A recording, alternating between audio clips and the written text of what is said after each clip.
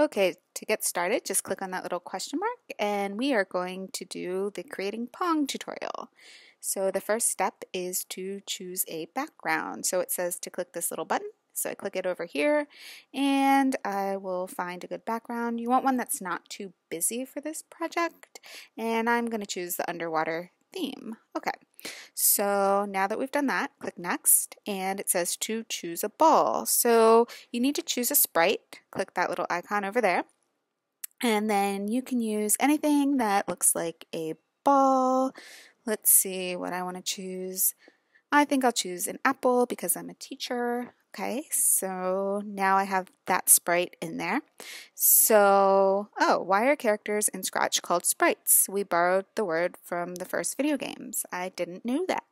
Okay, so now I want to delete the cat. So I usually just right click on the cat and then I press the delete button or you can also go up to the top here and choose a scissor, click on the cat and boom, it is gone. All right, so that's what we just did. And as I said, we could also right click. That's what I usually do. Okay, next step is to make the ball move. So in order to make the ball move, it's a motion type script and everything is color coded in Scratch to make it really, really easy. So in the motion category, I am going to choose to move 10 steps. And so I'm making my apple now move 10 steps. And the next step says, well, we want to keep it going. We want to keep it going if it hits an edge. So go ahead and pull in that if on edge, just make it bounce. And we want to do that forever. We want to keep repeating it. So that's a control type structure. Anything repeating would be in the controls. So that's what I did right there. The next step is to make it starting by pointing in some direction. So I'm going to just have it point in direction 45. So that starts it at a 45 degree angle. And the next thing is that we want this to happen when the green flag is clicked. The green flag is clicked, and that will be like pressing play on any game. If we want the ball to move a little bit faster, we might make it move 15 steps. Even faster, you could do 20 steps. Slower, just make it less. Okay, so the next step is to choose a paddle so that we can start to actually play Pong. So add another sprite and then pick something for your paddle. So you can just use the paddle there, or I'm going to just use the magic wand because it looks cooler. Okay, so I just put it in and I can just move it around anywhere I want. And then it says that we can make it grow or make it shrink. So click that button and just click on it, click on it, click on it, and it grows. And if I want to make it a little smaller, just click on it and it gets a little smaller. And so now that we have that set up, so let's go ahead and control the paddle. So the first thing we want to do is when the green flag is clicked, that's when we press the play button, remember? We want to forever, we want it to follow our um, mouse pointer. So wherever our mouse pointer is, is where that paddle should be. So that's what we've just done. Now bounce off the paddle. So when the ball, so this is, we're programming the ball, go back to the ball's sprite. So the next thing we want to do is to have this apple bounce off of the paddle, or if you have a ball there. So whenever that um, apple hits that magic wand, we want it to bounce off. So when that green flag is clicked forever, because this is going to be constantly happening, so if our apple, if it touches that magic wand, so touching, touching the magic wand, if it touches the magic wand, then we want it to bounce off. So we can just have it like turn a certain number of degrees. So let's have it turn 180 degrees will work perfectly for this. Make it just wait like one second or something to have it pause for a second. Okay? So the next thing we want to do here is we want to add a sound. So whenever it hits the paddle, we want it to make a sound. So you just click on the sounds tab and then to bring a new sound in, you just click on this little button here, choose the sound from the library, and I'm going to just choose mm, this zoop thing. Okay, so now it's in there.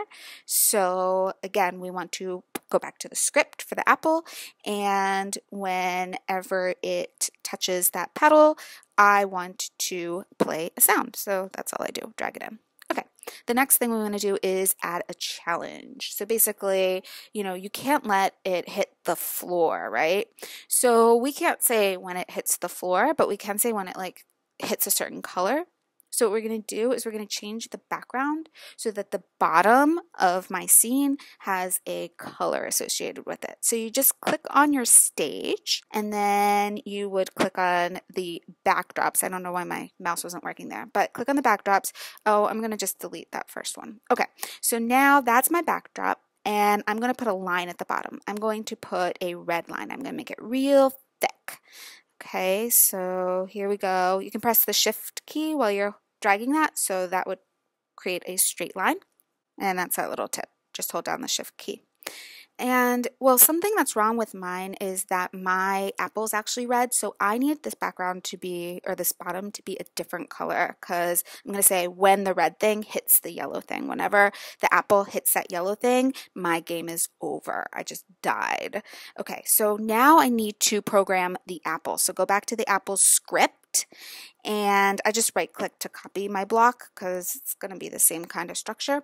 And I want to say forever if that apple is touching that yellow. So I just click on touching color and I click on the yellow bottom there. Okay, so if it's touching yellow, then I died. So I need to stop everything. So let me just drag all this old stuff out and I go back to my controls and I want to stop everything if that apple hits that yellow bar at the bottom. And that's my challenge. Okay, so now the next thing to do is just to enhance it a little bit. Um, I want to add effects maybe. So maybe on my Apple, whenever it uh, hits that paddle, I will have it change the color effect. So that's just going to make it look like colorful.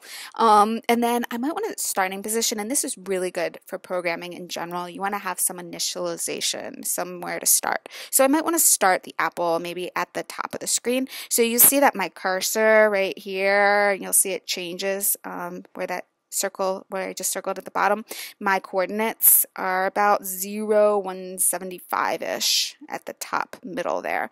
So I'm going to say when the green flag is clicked, go to 0, 175. So that will initialize my apple at the top of the screen when I press play. And then you might want a score variable. So click on data and then make a variable, call it score. Okay, and you'll see that it creates a score right here at the top left of my screen. And what do I want to do? So at the beginning, I want to set the score to zero. When I start the game, it's zero, but whenever it touches that magic wand, I just got a point. I got a positive point. But if I hit the bottom yellow, I should die, and I could change my score by negative one. Maybe I don't want to die. You can add that. Um, okay, so now let's see what our game looks like. I press the green flag and you'll see that the magic wand just follows my mouse around and that's your first step if you did that good job, but I find it pretty easy to play the game this way. And so you might want to add on to your game a little bit. Perhaps you'll want to um, trigger things with the arrow keys. So make the paddle move with your left and right arrow. So you'll see that you have in the events, you can say when the left arrow key is pressed. Maybe you want to move uh, negative 10 steps because you want it to go left 10 steps. And then let's duplicate that and say, well, when the right arrow is pressed, let's just move positive 10 steps. Okay, let's just leave it there. Oh, let's do some initialization for this wand. Let's also put it in the middle bottom.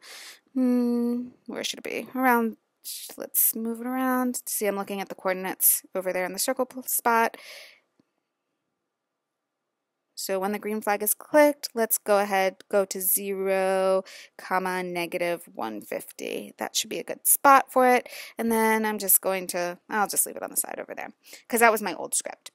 Now let's press the green arrow and see what happens. Oh my gosh, it's way too slow. I'm not moving this paddle fast enough, so I need to speed this up. So to speed it up, I would just move like 20 steps in each direction. Now use the left and right arrow.